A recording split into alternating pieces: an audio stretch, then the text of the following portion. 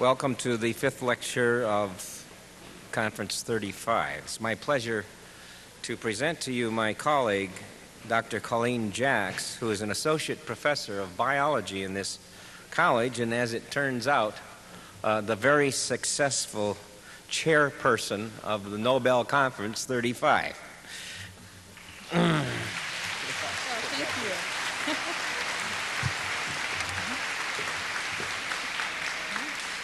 Thank you, Dick. The term telomere was first used by the famous fly geneticist Hermann Muller in 1940 to describe the ends of the linear chromosomes observed in plant and animal cells.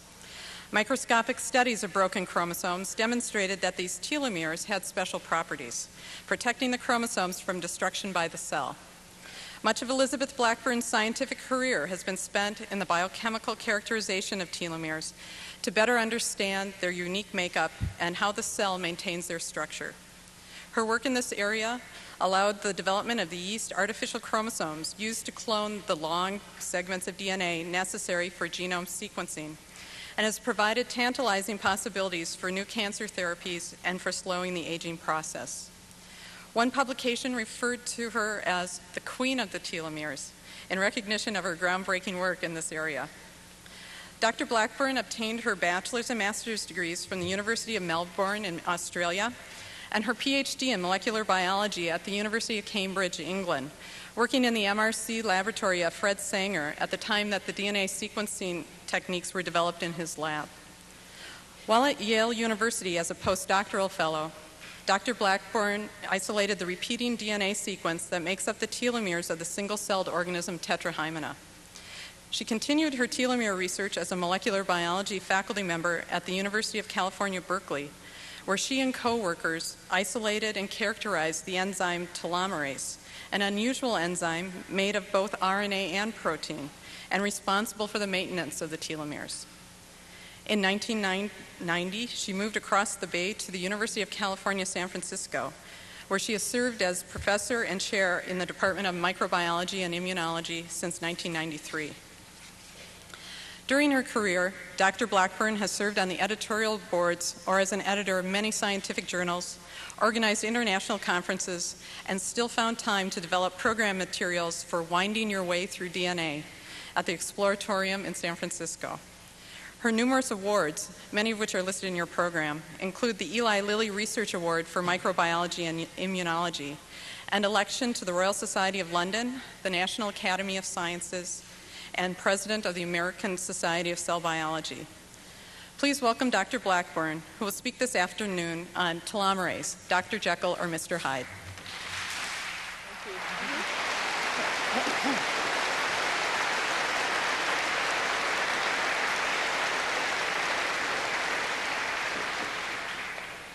Thank you, thank Colleen. It's, it's truly a delight to be here, to participate in this very stimulating, very exciting Nobel Conference. I'm especially happy because this is also my very first visit to Minnesota. I don't count the time spent in the airport on the way through. So this, is, this has been a especially wonderful uh, visit for me. Now, we've been hearing about enormous numbers of genes, the whole panoply of genes that is presented by our genomes and the genomes of many other creatures. But this afternoon, I'm going to talk really only about very few genes, some genes, uh, and I'm going to talk about a special part of the chromosome. In fact, not really a gene at all. Now, that special part is the telomere, and it's the end of the chromosome. And the genes and their products that I'll be talking about, focusing on, are those of telomerase, which makes the, D- the DNA of the telomeres in the cell. And telomeres and telomerase profoundly affect how the chromosomes do their jobs. Now, we've been hearing about the chromosomes as the carriers of the genetic information, of all the genes of our genetic blueprint. But the job of the chromosome is also to make sure that those genes get faithfully transmitted, all of them in their entirety, intact from cell to daughter cell and from generation to generation. Here depicted on the first slide Can you see that? Can you, is it going to gradually appear like the rising sun?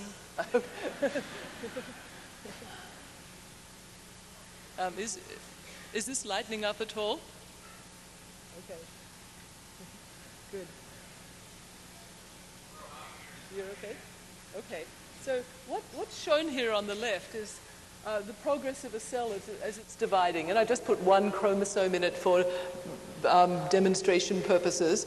And the chromosome has two long arms filled with lots of DNA and a little nipped in waist called the centromere, which I'll describe briefly, and it has the two ends. And right away, even before the cell is starting to divide, um, a lot of evidence indicates that the telomeres uh, help to hold the chromosome in the right places in the nucleus. And we don't understand what that accomplishes for the cell, but we just notice that that, that does happen. Now, all of that DNA, repli- DNA has to become replicated if it's going to be faithfully passed on from one cell to its daughter cells. And so, one of the things that the telomere has to do, as I'll describe in a moment, is to ensure that the DNA is actually completely replicated all the way to the ends. So, let's say the DNA has become replicated. The next job is for that now duplicated chromosome to partition both of its copies correctly to each of what will become its two daughter cells on the bottom. And that involves the chromosome being pulled apart from those two little pieces shown here. They're called the centromeres, and I'm not going to say anything more about them, excepting a chromosome can only have one centromere and work properly in this process of pulling apart. And if you have two centromeres on the same chromosome, they get into a fight and the chromosome can get ripped apart and other things can happen. And I'll return to that later in the talk. Now, of course, as you pull those chromosomes apart, they have to completely come apart, and the telomeres, of course, also have to separate in a timely manner. Because now the cell is going to divide down the middle, and we don't want any DNA kept uh, caught in the middle. So, telomeres, it turns out, are acting in different stages in this cycle of cell division. So, as I said, they position the chromosomes, they completely ensure its replication, they completely ensure proper separation of all of the chromosome as the chromosomes double. Now, this is just a very schematic cell. Let's look at a real cell, the way it would appear under the microscope after suitable staining in one of the cells of our body as it's dividing. And remember, as we start from our very beginnings all the way to growing up to an adult, well, of course, we know the cells have to divide and divide and become the approximately 100 million million cells of our adult body. And then a lot of our cells, as we're adults, also have to keep on multiplying. Think of the skins of uh, the cells of our skin that's continually self-renewing, of our intestinal lining, our hair follicles, our um, immune system cells that have to turn out new cells all through our lives. So cell multiplication and growth doesn't stop um, just because we've grown to our full adult size. And that's something that I'll be returning to over and over again in this talk. So here is our set, our blueprint, uh, uh, our set of genetic information. Uh, and those blue sausages are the human chromosomes. And they're shown here in a cell that's just replicated its DNA. So there's two copies, and you can see the two copies lying side by side. And this cell is just about to divide and send those two copies to the two newly forming daughter cells. One copy of DNA to one, one copy of the DNA to the other. Now, the blue color actually comes from the staining of the actual DNA itself. And then, in addition, using a very special molecular fluorescent probe, what's lit up at the ends of all the chromosomes as these exaggeratedly large yellow spots are the telomeres. And they're lit up, lit up by a molecular probe that goes in and seeks out and finds the telomeres themselves. And here they are. And one point that's very visually obvious is that all chromosomes have telomeres. The special uh, probes find telomeres at both ends of every chromosome and they're crucially important for the protection of these linear DNA molecules.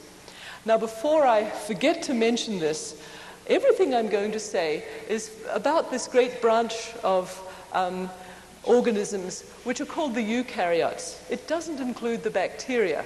And we don't know whether bacteria are smarter or dumber than us, but they have circular chromosomal DNAs and they don't have to mess with any of this telomere stuff. Okay? So, what I'm going to talk about applies to us and to a great many different creatures, but just remember, not the bacteria. Now, of course, we're very interested in this process of how our genetic material gets transmitted. Obviously, you know, we care about it as the human race. We want it to be transmitted from generation to generation. It's also very important that it gets tra- transmitted intact from cell to cell in those many dividing cells that continue to divide in our bodies. One consequence of the failure of proper transmission of genetic material from cell to cell in our bodies is that such cells can become cancerous because genes are in the wrong balance, for example. Uh, other things can also cause cells to become cancerous, but this is one part of it. So, the faithful transmission of genetic material also is important in cells not becoming cancerous. Now, I'm going to tell you a lot of complicated science. It's not going to be too complicated, but some science. But I'll give you a take home message right now. You need the telomere to keep the chromosome from uh, being lost. In fact, we can say lose a telomere, lose a chromosome. And that's pretty accurate. So, what I'm going to do in this talk is I'm going to talk first about the science of what we've learned about these very important chromosome parts, the telomeres. And I'm going to tell you some very new results that really have given us a much better picture, a better way of thinking about telomeres and what it is they're doing. And then I'm going to speculate, and, and I really hope I provoke you to think about. I'm going to speculate on what we can project from the current state of knowledge, and I'm going to get you up to that current state of knowledge what can we project about how using that knowledge might impact on our lives? Okay, so our lives, as I say, we hand genetic information from uh, generation to generation. I like this picture because it's my husband and our son on a beach, and uh, I guess some genetic information has been uh, handed on. They're certainly both very interested in digging, and I don't know what sort of behavioral characteristic that tells us about. but um, they also look very different from this creature.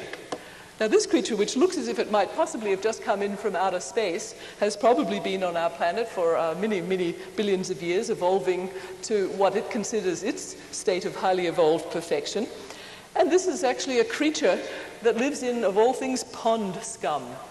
So uh, it's very tiny. I've shown it here as a scanning electron micrograph. Um, maybe to help think of the scale, you could uh, think of it as uh, several hundred of this of these creatures could fit on the head of a pin. Okay, they're single cells. They lived in pond scum. They're related to that uh, more familiar slipper-shaped pond organism called paramecium that some of you might, might remember from beginning biology classes. And it was in this creature, who looks awfully different from us, that we discovered the molecular nature first of telomeres and then also discovered telomerase. And that was for technical reasons, basically, the essence being that this creature happens to have a lot of telomeres uh, in its tiny cell. And I was interested in those. So you might ask, well, what does looking at this rather far out looking pond scum creature tell us about us? And so I was reminded by um, what was said by one of the scientist participants speaking on the first, at the first Nobel conference held here at Gustavus Adolphus College in 1965. This was the conference on genetics and the future of man, and we've come, as we've talked about earlier in this conference, we've come full circle again, thinking still about this. To the extent to which we learn how to manipulate genetic change in microorganisms, we should also be able to do so with higher multicellular organisms, including man. So, figuring out what telomeres and, telomerase are good for in this lowly pond scum creature, it turns out has really greatly informed us about what they do in us. and furthermore, what we might do which might impact on human health and maybe human lives. So, I mentioned before the many functions of telomeres. I'm going to express them in a somewhat different way. You can really distill them all into these two statements that the major roles of telomeres are to protect or to cap chromosome ends. And they also have to ensure the complete replication of the very ends of the chromosomes. And this, it's this idea of a cap which we've much more recently put a very sort of molecular set of um, understandings to. So, this idea of a cap is a very critical one in telomeres and how telomeres work. Now, telomeres function as a, a reservoir of replenishable DNA, and that actually relates more to this second function, the complete replication of the chromosomal ends. And here I've depicted what happens in very diagrammatic form to the telomeric DNA as a cell goes through a series of cell divisions. So that's shown in that downward arrow here. Now, the blue just represents the outermost bit of some chromosome, and the red is the telomeric DNA, which I'll describe in a little more detail in a moment for you. And as the cell keeps on dividing and replicating its chromosomal DNA, the DNA, the telomeres, the red DNA, doesn't stay the same. It changes. It gets a bit longer, it gets a bit shorter, longer, shorter. But on average, it doesn't get lost. And in fact, that cell is able to keep on dividing pretty much indefinitely, barring other accidents. So let's look a little more closely at this DNA. What is its nature? So up in the top, I've depicted a chromosome in blue, so the little red, little waist in the middle, the centromere. I can't see this thing pointing properly. And I guess it's going to get focused a little better.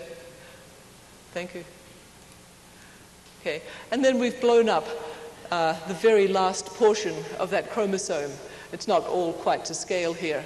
And what this DNA is made up of is very, very simple DNA sequences. Now, in tetrahymena, it happens to be the building blocks T, T, G, G, G, G. And they're repeated over and over to make up a stretch of a few hundred bases of these very simple repeat sequences. In humans, it's just one tiny chemical change difference, one base difference.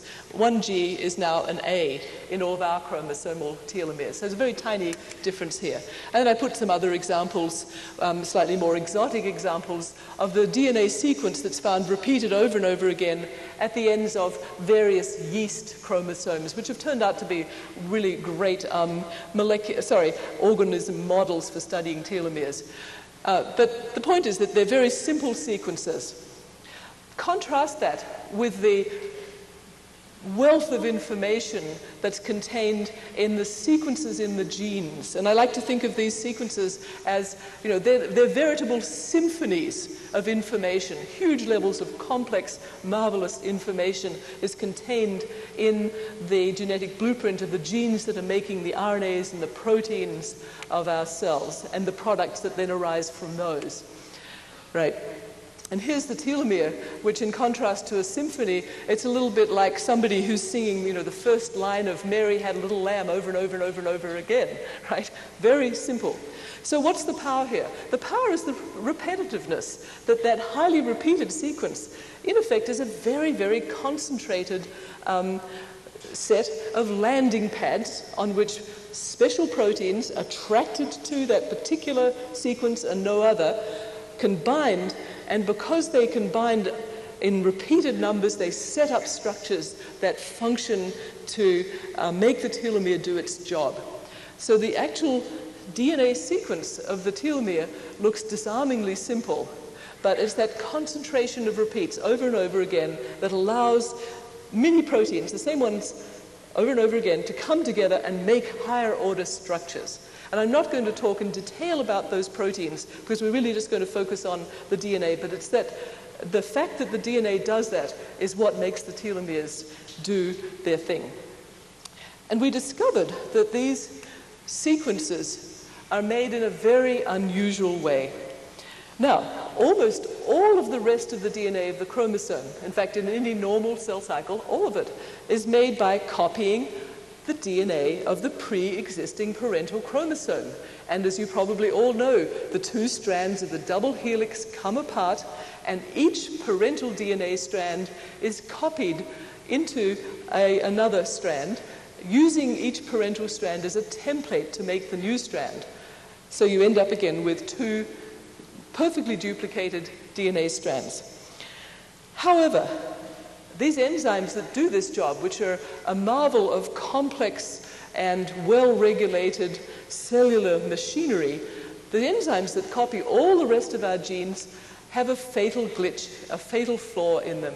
They're built so they cannot copy the very, very ends of the linear chromosomal DNAs. It just nature happened, it worked that way. The machines got built in that way, and they just can't completely replicate the ends of the chromosomes. And so instead of telomeric DNA being both decided and the sequence being decided and being uh, made by the co- process of copying DNA into DNA, telomeric DNA sequence is decided in a very different way by a very special enzyme. And this was discovered in the 1980s by me and my graduate student Carol Greider when we were then at Berkeley. And we discovered this enzyme, which we called telomerase, and whose job, at least in part, is to add extra DNA, the telomeric repeats, to the ends of the chromosome. So I'm going to draw, show you a kind of a diagrammatic depiction of this. And condensed in this is, is really a great deal of information about telomeres, but I'll just tell you the, mo- and telomerase, I'll just tell you the really salient points. So this blob of red and this purplish line with some bases in it. That's the telomerase ribonucleoprotein enzyme made of RNA and protein. And over on the left and running partly across the telomerase is the end of the chromosomal DNA. Now, before I go into the mechanism of what telomerase is doing, just let me tell you a little bit about this end. Now, the DNA of the chromosomal end is mostly double stranded, and you can see I've drawn the two strands up here. But the uh, top strand, the one with the G's and the T's in it, sort of protrudes a little bit from the end.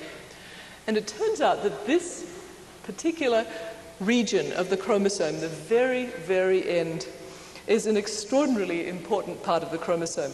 And I want to give you a kind of a scale for this. So if we look at this as you project it on the screen, and you can see, you know, that little sequence out at the end that I've shown with those few T2, G4 repeats sequence, that's a certain size projected on the screen. And my back of the envelope calculation is that if you drew the whole chromosome on the same scale, it would be about a thousand miles long. So it's this tiny, tiny little bit of material at the very end of the chromosomal DNA that basically will determine whether this chromosome is going to be able to do its job. So all these wonderful genes are for naught if something goes wrong at this very, very tip of the chromosome, because then the chromosome won't be able to be transmitted properly. Okay, so what does telomerase do? It adds DNA to the end of the chromosome. It copies a small region of bases, shown as, as, those A's and C's in the large red blob, which is depicting the telomerase enzyme. It's a small region of bases within a larger RNA that's a part and parcel of the telomerase enzyme. And it simply places the DNA tip on corresponding bases on that little tiny template and then incorporates one at a time the G's and the T's, copying the C's and the A's respectively in the template. And that's what it does. It's not exactly your, um, your uh, Einstein of polymerases. This is not a huge amount of genetic information to be copying, but it can copy it over and over and over again and make repeated sequences. In fact, if you look at it, you can see that the last two bases, TTG, that gets put in, if you now took that 3' end, that right hand end, and moved it over, you could align it again with the AAC on the left of the template and do another cycle of copying. And that's what happens. It gets copied over and over again. So that's the simple uh, view of what telomerase does. But I just want to take a moment and tell you about a couple of things we found out about this enzyme, because they were very surprising and interesting to us. And I don't really know deeply what it all means yet. But first of all, I've said telomerase is a catalyst. It's like other enzymes. It has a job. It does um, polymerization, uh, polymerizing DNA to the ends of chromosomes. Um, but this is actually very surprising because I just said that DNA usually gets copied into DNA.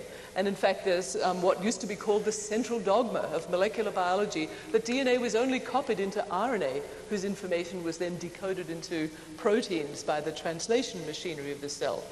And in fact, it was thought that this process by which RNA, those A's and C's here, were copied into DNA, which is a property of reverse transcriptases, it was thought that that was a property that was the purview of things that we don't like a whole lot. Retroviruses, of which the most notorious is HIV, which causes AIDS. So it was thought that this process of RNA being copied into DNA was somehow associated with the more pathological um, aspects of biology if we take it from our human centric point of view.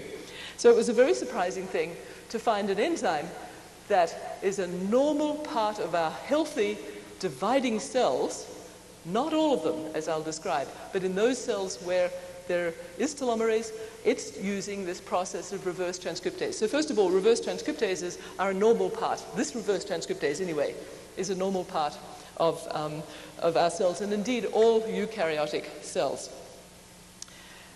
Now, the second point that I just quickly will allude to is that I've shown you the part of the RNA that carries out the function called the templating. It's simply copied into complementary DNA, but that's not all that the RNA does.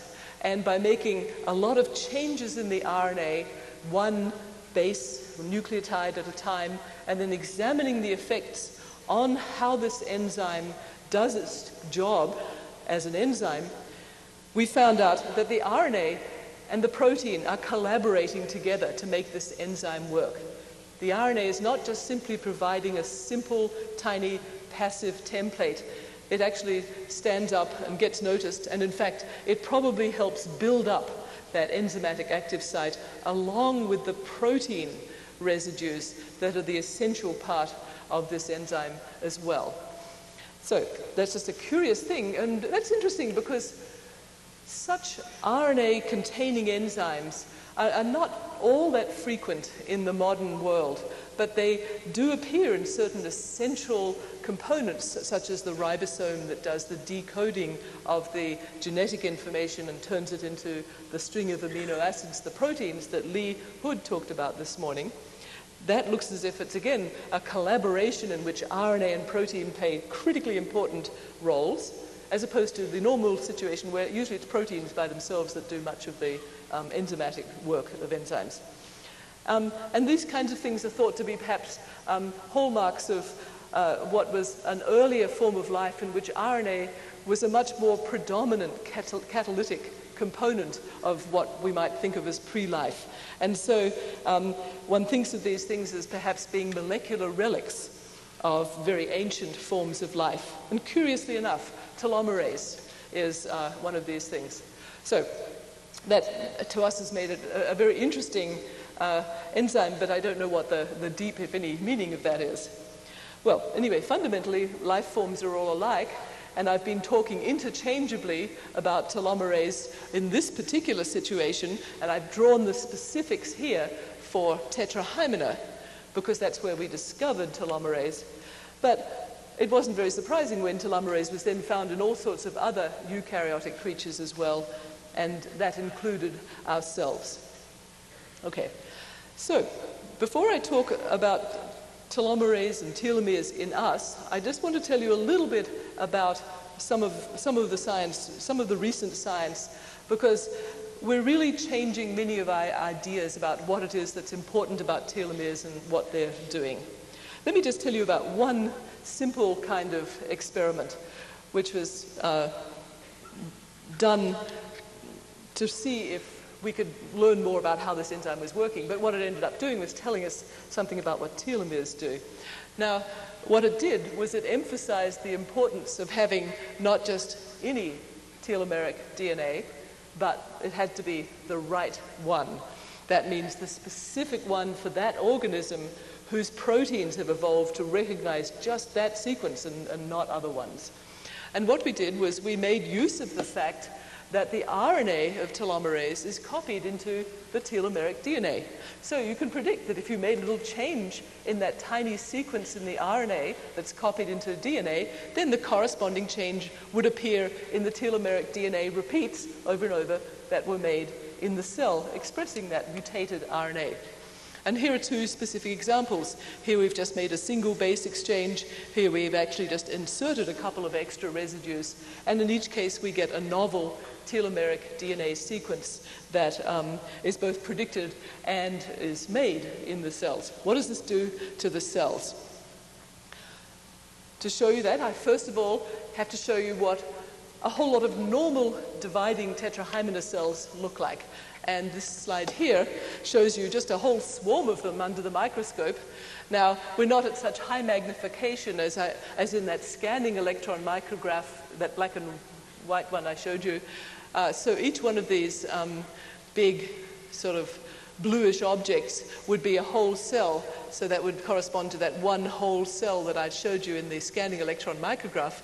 And the blue material is the genetic material, the DNA all bundled up in, in the nuclei of these cells. And so we can see a few cells here that are dividing. And so here's, here's a cell, for example, it's dividing, it's nicely separating out its DNA. Now, if we make that telomerase, which has a change in the template that causes a change in the telomeric DNA sequence. Nothing wrong with the enzyme. The enzyme's working fine. It's churning out the sequence. It's just the wrong sequence. This is what happens. This is a fairly similar magnification. You'd find it hard to believe. And now these cells have become absolutely enormous. You, you can see there's enormous amounts of DNA now in that cell. It's just become huge and swollen. The DNA has been bravely replicating and replicating and replicating, but it just can't separate. And it gets stuck between the cells, and they uh, quite quickly cease dividing, as you might imagine if you go from looking like the previous slide to looking like this. Um, these, are, these are pretty unhappy cells. Okay, despite their desperate attempts to keep them, they keep copying the DNA, but they're desperately trying to separate it, and they can't do it. What's wrong with these cells? Well, I already, I think, alluded to the fact they can't separate their DNA, and we did very high resolution light microscopy on cells in which we'd done the same kind of experiment and found out that the cells had got stuck by their telomeres. So let's look on the left of the normal progression of what happens as chromosomes uh, separate. They, here we have uh, replicated chromosomes, they get pulled apart by their centromeres, and the telomeres normally pull apart in a nice timely fashion. And the chromosomes come apart, and then each of those chromosomes can go happily to its daughter cell. But in our mutant, what we found was that the telomeres were stuck together. The consequence of that is various. There are things that the cell can do in response to this. One is that this, one centromere just gives up and the DNA all just ends up in, in one cell. And that's probably what we were seeing a lot of in those very sick-looking cells I just showed you. Another thing that can happen is that the chromosomes can get ripped apart as those centromeres are bound to the cellular machinery that's pulling them apart. And now we get new broken ends of chromosomes, and those wreak a lot of havoc in cells and we get different distributions of genetic material to different cells, and so genic imbalances arise. So having stuck telomeres is very bad news for cells. So this was scientifically satisfying for us because uh, that was telling us that very quickly having the wrong sequence at the end of chromosomes had a very deleterious fast effect on cells. At the molecular level, we could look a little bit more closely. So here's depicted um, just the uh, tract of DNA at the end of the chromosome, and I've shown in should be green, the wild type situation, this is fine. And then we've popped in this mutated telomerase RNA gene.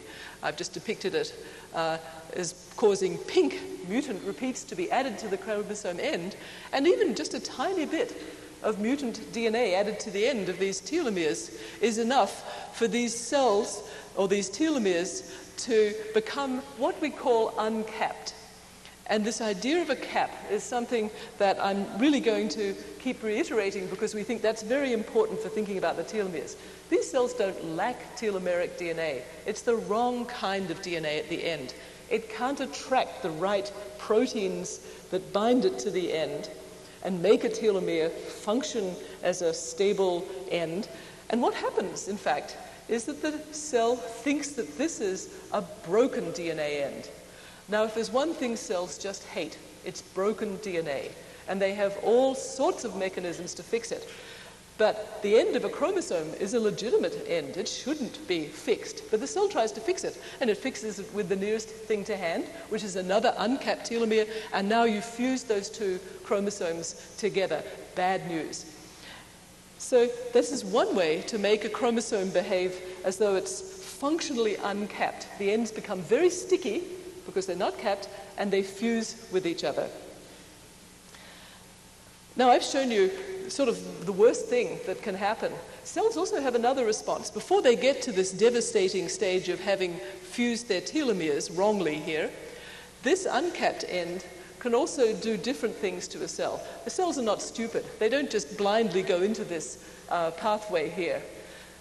An uncapped end sets off an exquisite set of alarm signals in the cell. The cell is poised to detect DNA ends that shouldn't be there.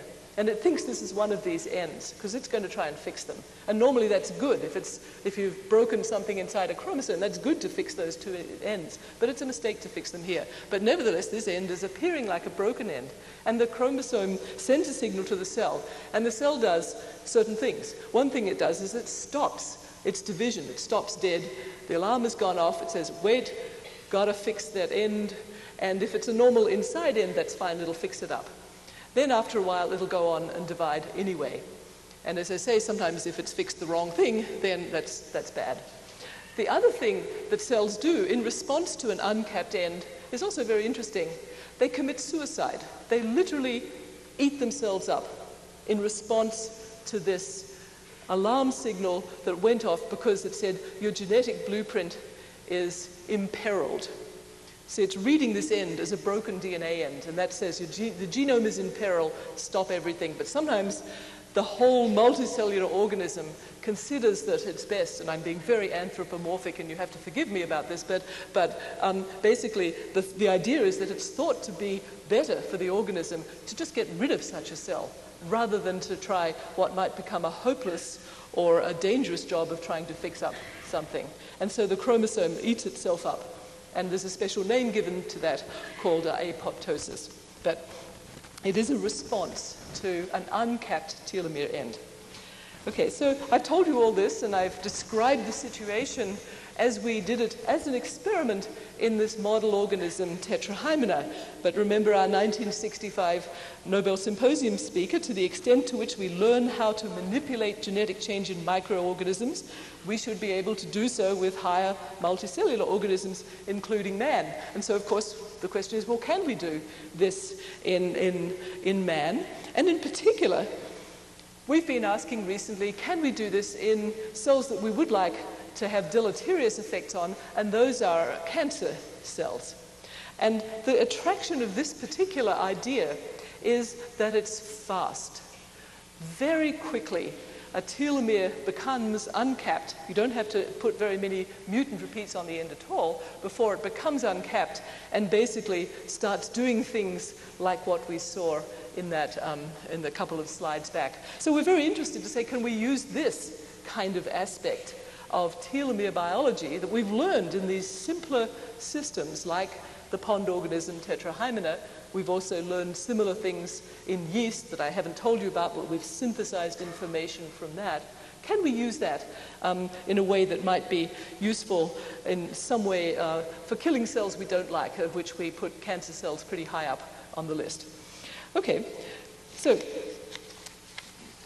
this experiment, so just, that was an application idea, but this experiment, this kind of experiment, where you put different sequences at the ends of chromosomes, they don't always have to lead to disaster like this. And in fact, they've been very, very informative for learning things about how telomeres work in the cell. And, and one of the most striking things is just how dynamic the structure is. And I've just drawn you in a very simple diagrammatic form what happens at the end of the chromosomes. We sort of think of the chromosomal material as being relatively static, You make that DNA, it sits there. But at the end of the chromosome, there's a continual um, building up and losing and building up and losing. And we can watch that process very vividly in real time if we make a mark in the template of telomerase. So I've shown it by the X here, and that represents a base change in that template. And now that'll get copied into the DNA at the chromosome. So now the X is now in the chromosome end. First of all, just one X appears, and then quite quickly, lots of X's appear. But the end of the chromosome may not change its length a whole lot. It gets a bit bigger, smaller, and so on, depending on the sequence. And so we can follow this dynamic cycle of addition of DNA by telomerase. And if you don't have telomerase, then DNA gets lost. So telomerase is always adding DNA that's getting lost because of this process of incomplete replication, which is a consequence of the inability of the DNA replication machine to completely replicate chromosomes. So, so it's a continual adding and losing and adding and losing. Sounds very inefficient, doesn't it? You know, you're just adding and losing DNA all the time. But I think cells um, have evolved mechanisms which allow them a lot of control. And this mechanism is under exquisite control. It's remarkable what sort of lengths, to use a bad pun, the chromosome will go to to uh, protect the integrity of its telomeric DNA, you know, unless some nasty experimenter comes in and makes a mutation at the end, uh, the telomere repeats like I just showed you, but that doesn't normally happen in, in nature. So normally the um, chromosome end keeps replenishing itself because it keeps attracting telomerase to itself. Now, if you attracted too much telomerase, then chromosomes would just get infinitely long. So this process is regulated, and there are proteins that bind the telomeric DNA sequence and regulate the process. And I'm just going to show you in the most diagrammatic form possible how we think of that. So what I've shown here is the DNA stretch with the little red balls all over it, and those are the telomeric repeats, and they've each attracted a red protein to it that binds that sequence and only that sequence. And then those proteins in turn attract pink proteins that attract other proteins, orange proteins, and then the inner part of the chromosome is those blue blobs, which is just the normal part of the chromosome. So we build up this higher order structure that began on the platform of DNA that had all those repeats that all these red proteins could sit down on. Now, this big object at the end is uh, telomerase. Telomerase happens to be uh, a dimer protein. I didn't mention that before, so I've shown it dimer. And it also, as I'll describe more, it also is sitting at the end. Now, telomerase and this DNA protein complex, they sort of in a constant balanced duel here. The proteins are attracting the action of telomerase if the telomere gets short. And if the telomere gets long, then they don't uh, welcome telomerase's action. So telomerase acts more often on short telomeres than it does on long telomeres. It's very clever because that's the way it can keep the length of the telomeres normally within bounds that are okay for the telomere to function, to form enough of a structure. So if you just get this a simple idea that the telomeric DNA is loaded with lots of proteins, and the number of proteins, if the telomere is short, is going to be smaller, and that makes telomerase very active at the telomeres, but that makes the telomeres get longer. As it gets longer, you get more and more places for the proteins to bind, the telomere gets longer, and now it damps down the action of telomerase. So we call this telomere homeostasis. And it's acting in cells in our bodies, and particularly it's been, we, we, we, and others have looked at it in cells, for example, of our immune system. Now remember, I said that we have cells in our body that throughout adulthood have telomerase because they keep on having to multiply. We have to keep making more and more of these immune cells throughout our life. These are the cells, some of which Lee Hood talked about this morning. We have to replenish our immune cells, keep them multiplying so they can respond to challenges of pathogens um, and other challenges. And so um, we know they have to have intact telomeres, intact chromosomes. And what's been very striking is that the length of these telomeres can actually change quite a lot throughout our lifetime, but in ways that were not expected. Okay, now I'll get later to what had been expected, but here's some actual data here. And what this shows is the average telomere length, and this is taken in lots of individuals, of our white blood cells, which are cells of the immune system and they can kick on telomerase anytime they want, and they do. And it's shown through our lifespan. So here, zero is newborn. And so newborn babies have fairly long white blood cell telomeres. Okay? Now, the next point shown is when, this is again lots of individuals, and we've averaged them here, uh, you're, um, you haven't quite gone to kindergarten at this stage. Okay? But look what's happened to your telomeric DNA. It's plunged down. Right? But you're fine. You haven't had any deleterious effect from this plunging down. It's just that the balance of the adding and the losing has been thrown off a little bit uh, for some reason in that phase of your life.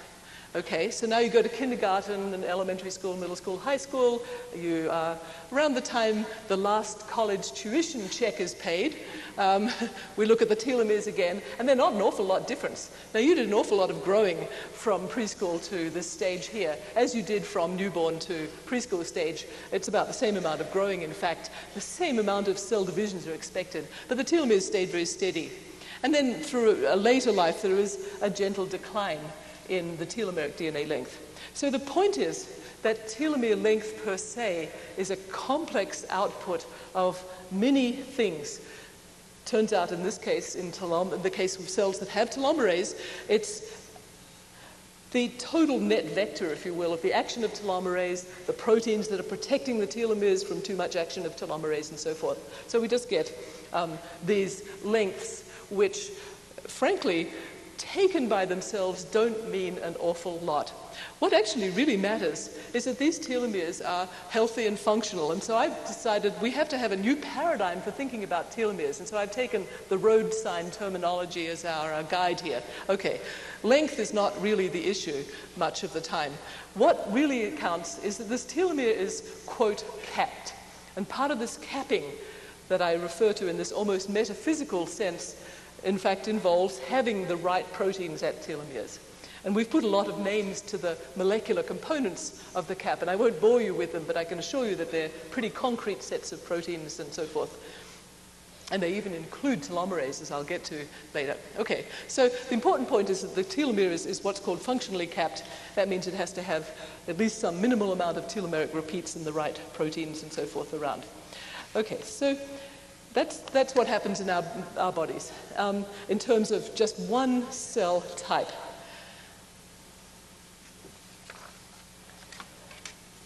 Now, we don't have telomerase on in many of our cells. Okay, so now we're going to talk about the converse situation from what I've been talking about till up to now, and that is um, what about when we don't have telomerase? Okay?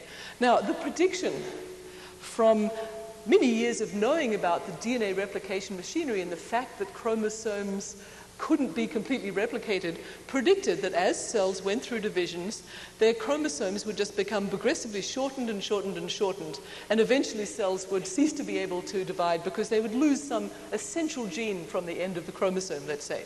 So that was the theoretical idea, and it's sort of right, but in fact, cells never get further than about, say, this third line here or so. In other words, telomeres shorten some distance in the absence of telomerase, and then cells respond to that in, in various ways.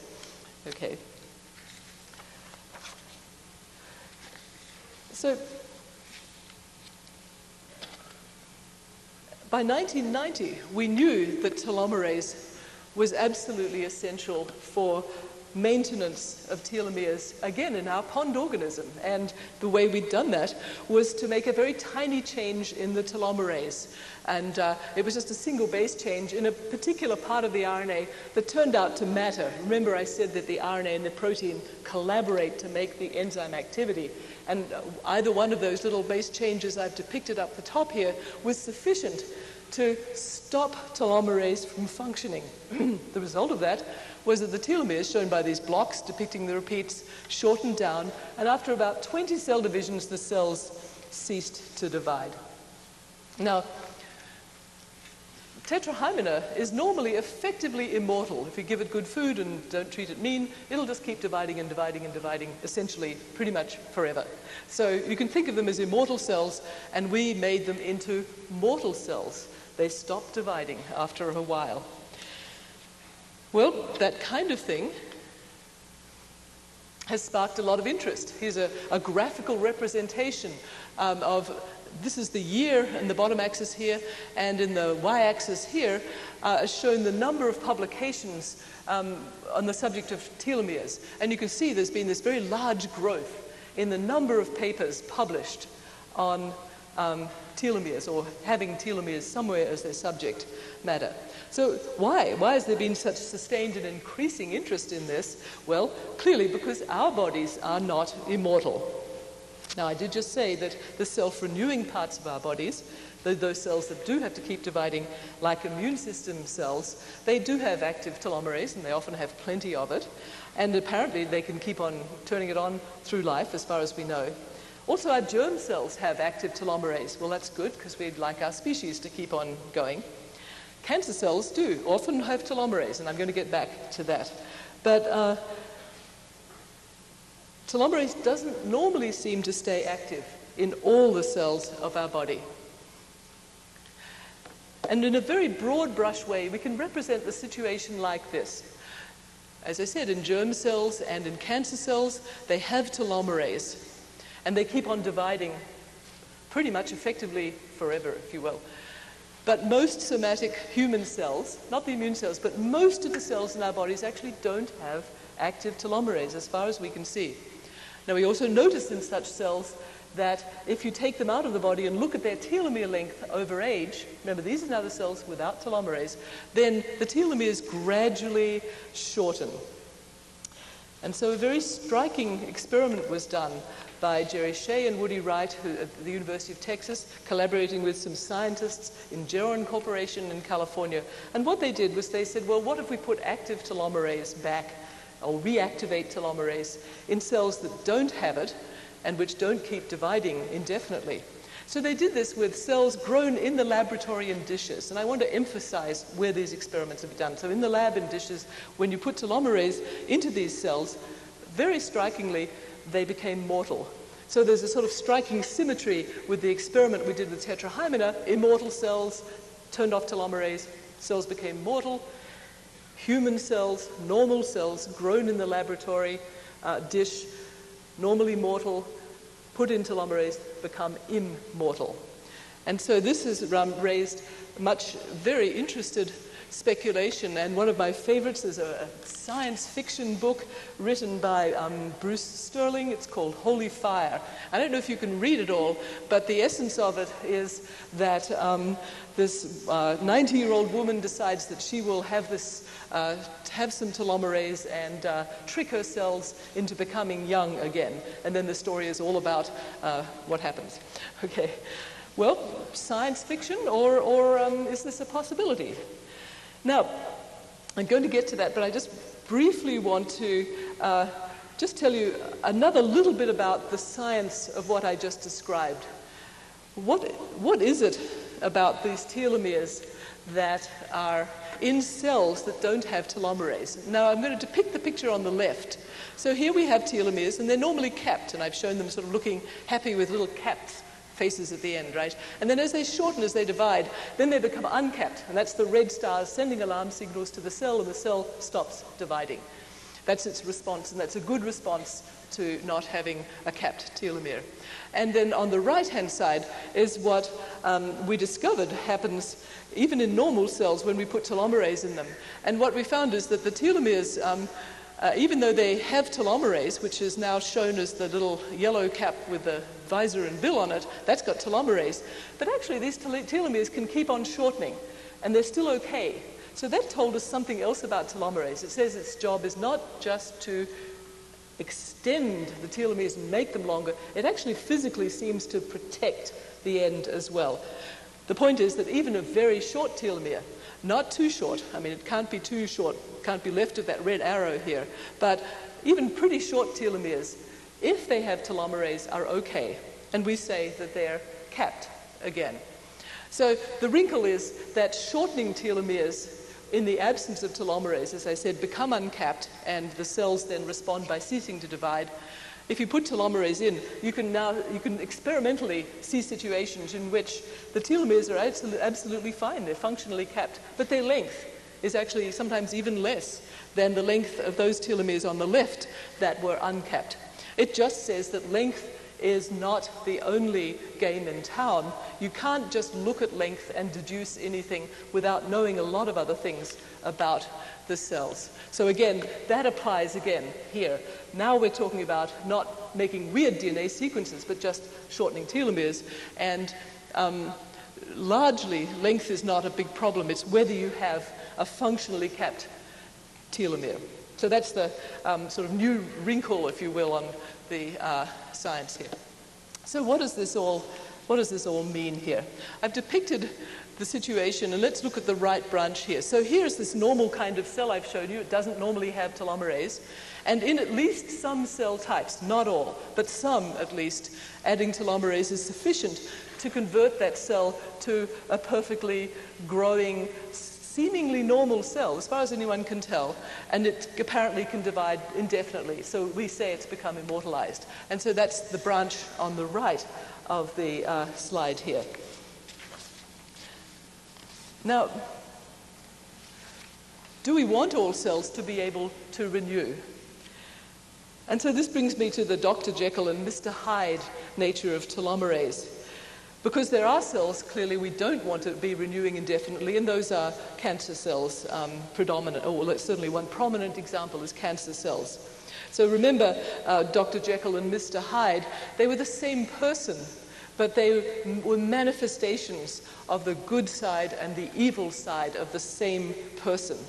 And I think this is an interesting analogy to think about for telomerase in various ways. So, okay, so let's think about telomerase in, in an experimental way. What we did was um, we looked at the effect of telomerase on cells that were not nice, normal cells, like the ones shown on the right, going to the green cells, but cells that had taken a number of steps down that stairway to becoming cancerous. And it's only going to take a few more shoves before those cells become full blown cancerous. So, what we did was we put telomerase into those cells. And here's an actual experiment here. Okay, here's a growth curve. Now the cells that, can't see, the cells that keep growing for a little while and then they cease to grow. So this is population doublings. This is number of days in culture. These cells have been made predisposed to be cancerous. We've put a virus oncogene into them and we've made them on the way to becoming cancerous cells. And those cells cease dividing. And what's um, experimentally said is that they go into what's called crisis as they cease dividing. You probably can't see too well, but those are them on the bottom. They're pretty unhappy. And these are the control cells for our experiment. In our experiment, we put in a gene, it's called the H-TERT gene, I didn't get into names, but it basically kicks the dormant telomerase in the cell on. And now these cells just keep on dividing, and those multiple uh, cell lines, uh, clonal lines, very efficiently, or 90% of the cell lines just keep on dividing indefinitely, and they look fine. Uh, they're growing just fine. So, what happened to these cells? Well, we made them effectively, we think, immortalized. But what kind of cells are these cells? These are, these are um, cells that are not good cells. And so let's think about what's happening to their DNA. And this is really the Dr. Jekyll, Mr. Hyde side of telomerase or aspect of telomerase. If we look at the chromosomes of the cells that are in the process of ceasing to divide, we find that they have a lot of peculiarities. And the arrows point to chromosomes that have fused their telomeres. Now, what's the consequence of that? Cancer cells can get by with this because they have plenty of extra chromosomes much of the time, so they have the genetic material to keep on growing, but these fused chromosomes are a hallmark of genome changes that happen in cells as they get more and more cancerous. So these cells are showing signs of what's called genomic instability, of which this is just one manifestation and one type, which is going to be likely to make them more likely to go down those steps towards full blown cancerousness. Strikingly, at the very same stage in our control cells, Here's just some examples, and you probably can't look at them all in detail, but these are perfectly okay looking chromosomes. And these are the ones that got the activated telomerase. And they kept on dividing. So we saved their bacon. But wait a minute, you know, whose bacon did we save here? Okay, so let's think about this. Because there are two opposite implications in terms of progression to cancer. The first thing that telomerase did was that it allowed a population of cells that are prone to cancerousness greatly multiply. Now, that means that there's more of a pool of cells in which a chance of more genetic events going wrong and which would lead to cancer can take place. So if you have, you know, a few cells, the chances are low. If you have millions and millions of cells, the chances are higher. So that's definitely telomerase on the cancer promoting side of things, what we call Mr. Hyde. On the other hand, I just told you that telomerase actually was acting as, as, a somewhat protective mechanism. It was protecting those chromosome ends from fusing, and therefore it was actually stopping one kind, not all kinds, but one kind of genomic instability. And that would be actually a somewhat protective mechanism. So, what telomerase is doing in terms of our anthropomorphic and disease oriented viewpoint is that it's the same enzyme, but it's doing something different depending on the context. You know, maybe it's like being Mr. Hyde, you know, who was only Mr. Hyde at night, and Dr. Jekyll, who was Dr. Jekyll in the daytime. It depends on the context. Same person, same enzyme, but the contexts are different and the results are very, very different. So that is, uh, oops, just, uh, so Again, we see the cat idea that's playing out in these cells. And so now if we take that leftward pathway, now we can make, as I said, cells that have at least the potential to become cancerous divide large numbers of times. And so my concluding remarks are I want to now draw together some of this in thinking about what that might mean to us. And I'm going to be immediately mindful of the dangers of predicting science. And I love the fact that we're at the end of this millennium because I think it was about the time of the end of the last um, century that uh, physicists confidently predicted that really there was not a great deal of need to study more physics because pretty much everything was known. And uh, uh, some of you might remember Einstein and a few other interesting things that happened in physics in the 20th century. So perhaps, while I certainly don't think studying biology is over by any means, I think that perhaps we do have a somewhat analogous situation. We've, we've learned so much and we've answered so many questions, and yet it only takes a very little thought to realize, well, how many mysteries of life really are still remaining, how much we have yet to understand, and let alone how to decide how to use that information and knowledge. Now, we, we're asking questions about telomeres in cells because we were interested in these tiny single celled organisms because they would tell us about telomeres. But at that time, we were not setting out to try to cure cancer or to look at the ill effects of physical aging. So we don't know where new findings are going to come from. And I think it's going to be very hard for us to make really confident predictions about where new findings are going to come from. I bet they're going to come from very unexpected directions. Now, what should we do with this information? Can we do anything with it? Well, technologically, we're probably a ways from really being able to do anything with it, but I don't think that is a reason to not think very hard about it. So let's think about aging. Now, I think no really honest person would say that they like the physical ravages of aging or, or cancer, right? I mean, if you're really honest, we can talk about the wisdom and the perspective that old age brings, but the physical ravages, I think honestly people don't think much of them. Okay, now what are other things we don't like? Well, we don't like infectious diseases, for example, and so we improve hygiene and we vaccinate and we forestall infectious diseases, and we consider that as a very appropriate thing to do. Well, I think perhaps we can say, well, can we forestall the equally natural and as unwelcome wear and tear of aging? And I'll include cancer in that because many cancers, not all, many cancers are diseases of aging. And again, we sit around sort of waiting for the blow of cancer to fall. We don't usually actively step in and forestall it, although there, there are some exceptions. But usually we're, we're passively waiting here. And so we could ask a very focused question. We could say, well, could we imagine um, utilizing telomerase, utilizing activating it in certain contexts? Could that be helpful in either of these aspects of aging, the wear and tear and the cancer related aspects? So let me just examine a little bit about the logic of this. Um, now, first of all, this idea of cells keeping replenishing themselves. Um, well, what I've described for you is what's been described in the laboratory for human cells, grown in dishes in the lab. Does the same kind of thing that I've described actually happen in the human body as we age? That is, does the increase in cells whose telomeres are unprotected, does that lead to wear and tear as our bodies get older because cells can't renew themselves. It's a very reasonable, plausible hypothesis, but we don't actually know for sure. Um, and we also don't really know if such wear and tear is the major contributor to aging.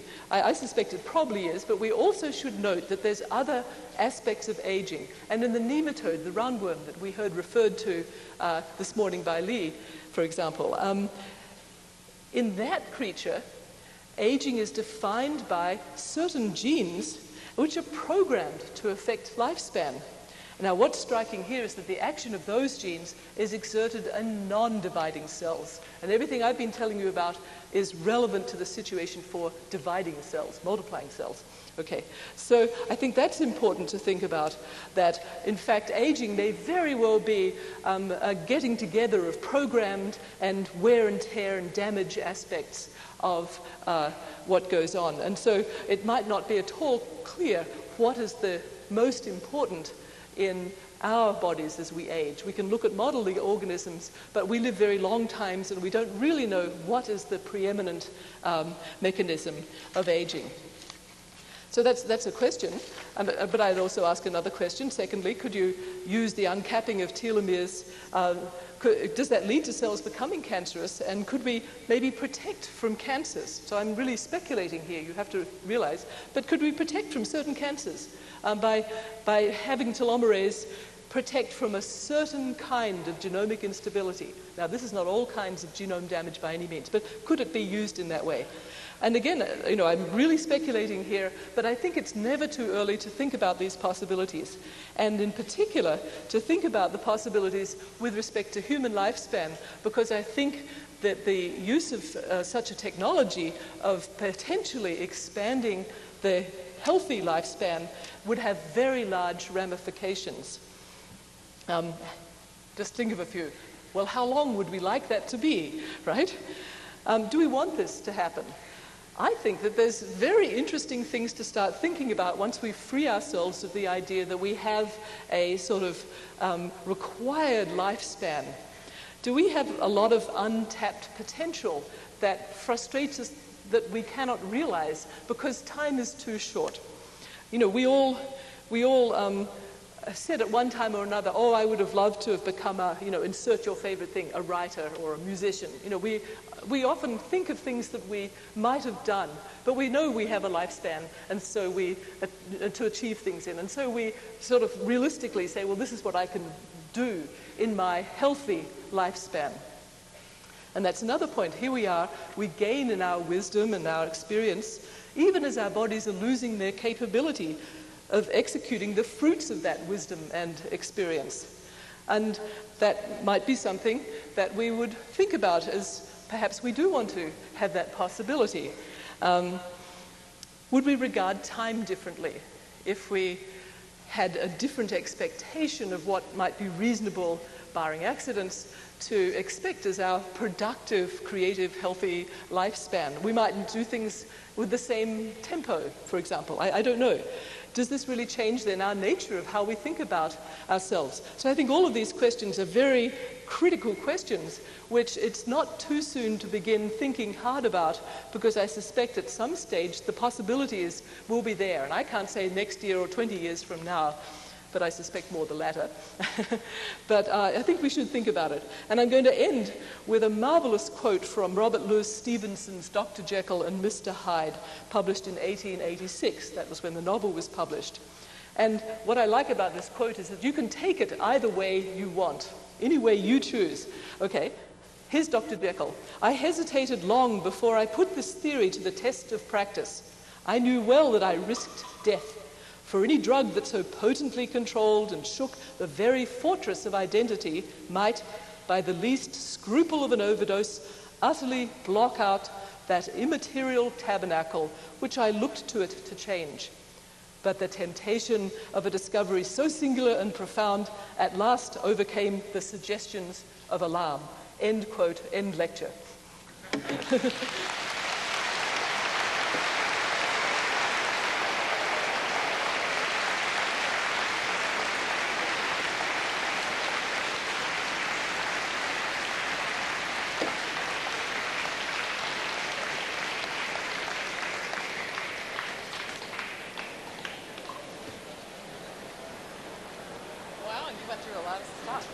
and too long, but what the hell? Yeah. I just, naughty me. Oh. oh, well, now they know I fessed up.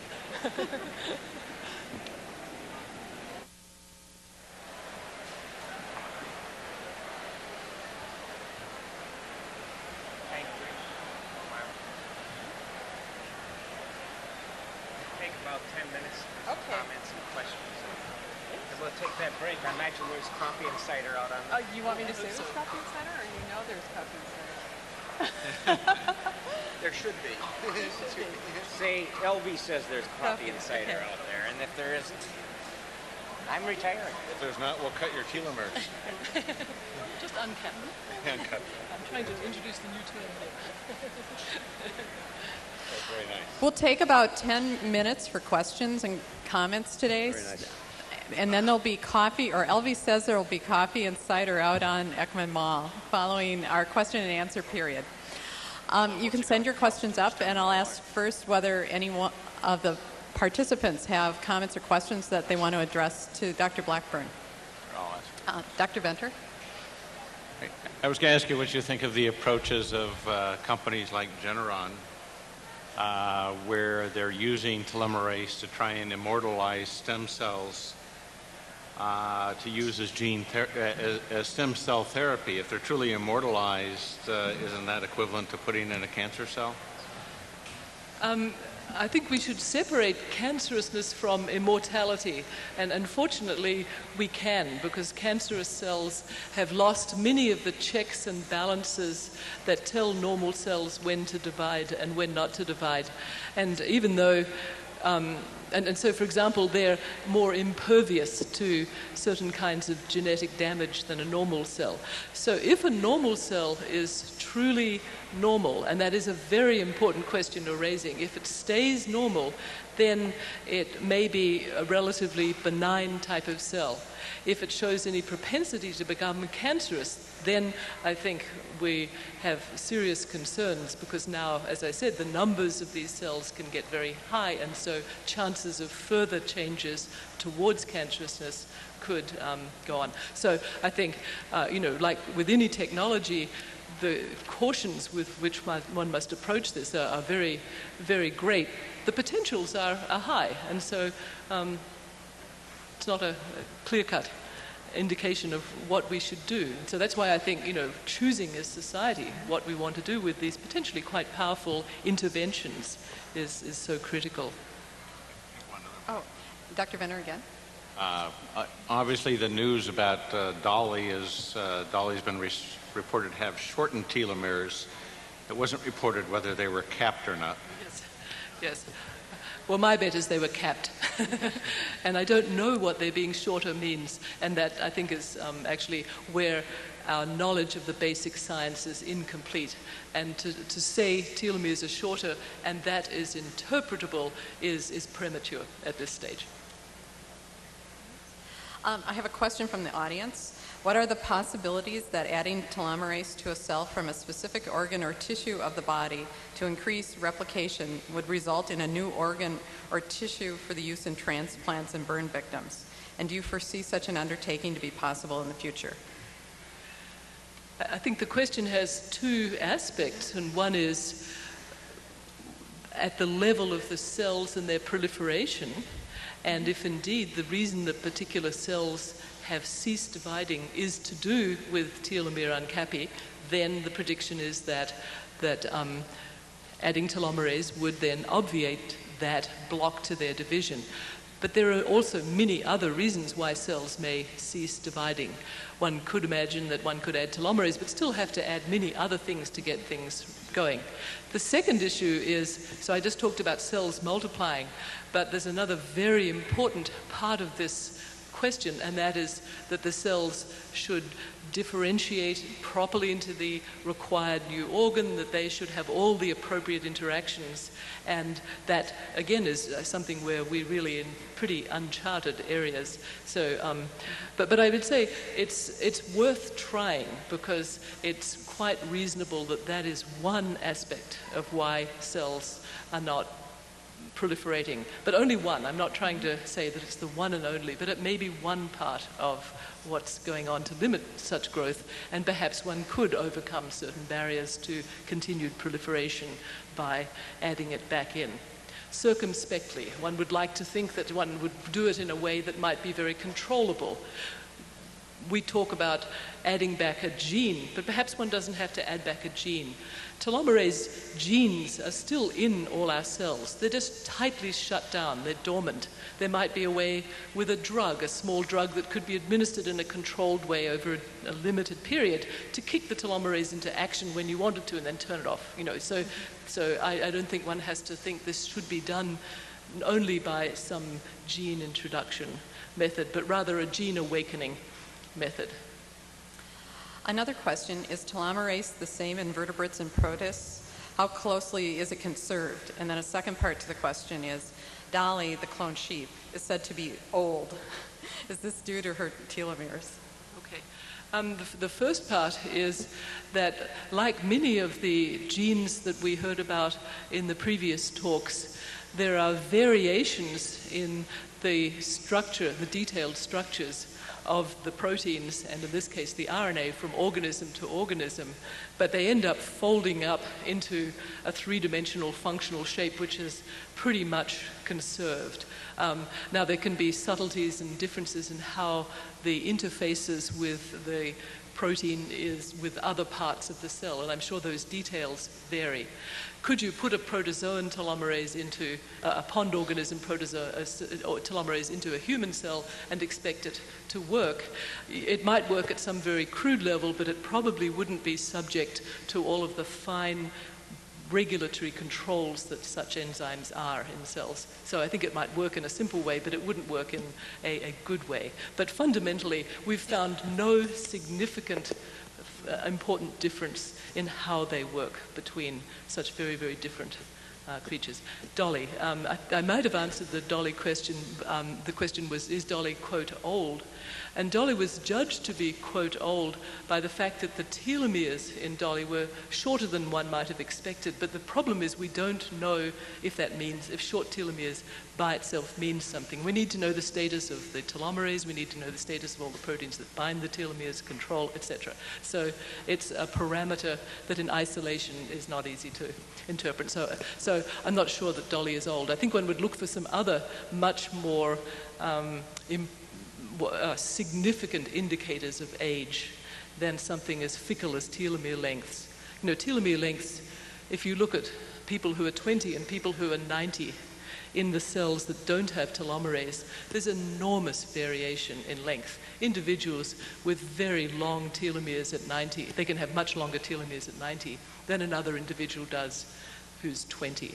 It just says there are many, many genetic factors that and perhaps environmental for all we know, that play into that final readout, which is telomere length. It's just an easy thing to measure, and we got a little bit carried away when we thought about length because it was, it was the only um, lamppost light under which one could look for quite a while.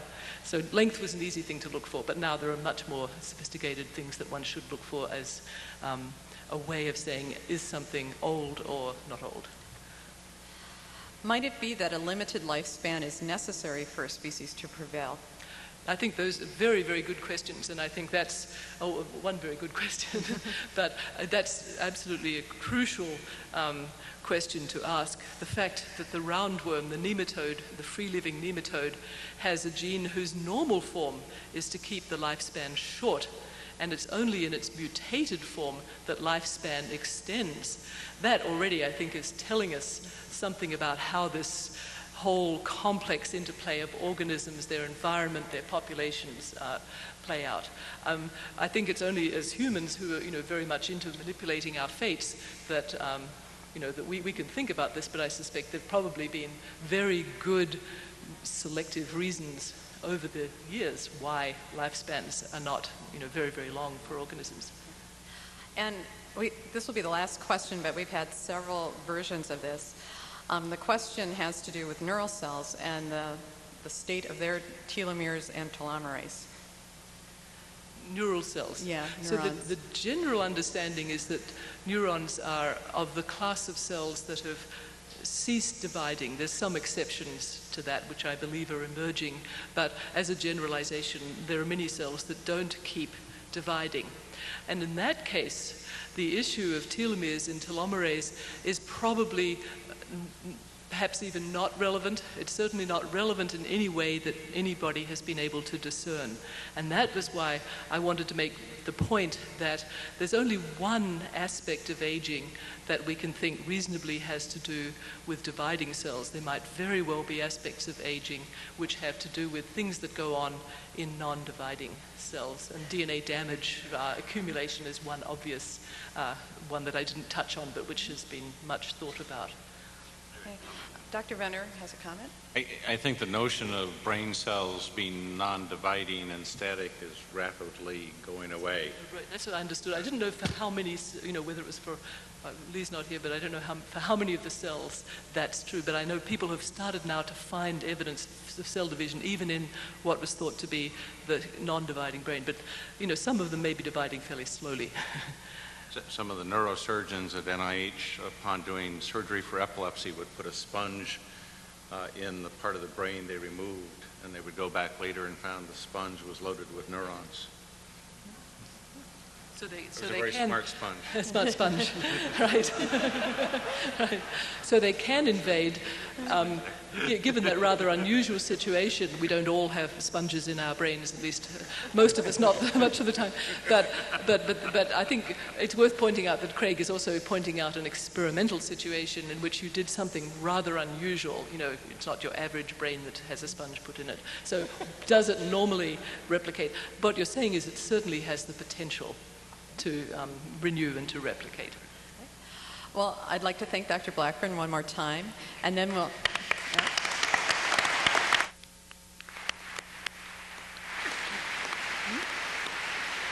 And, and then we'll meet back here at 3.15 for music, and at 3.30, Dr. Baker will give his lecture.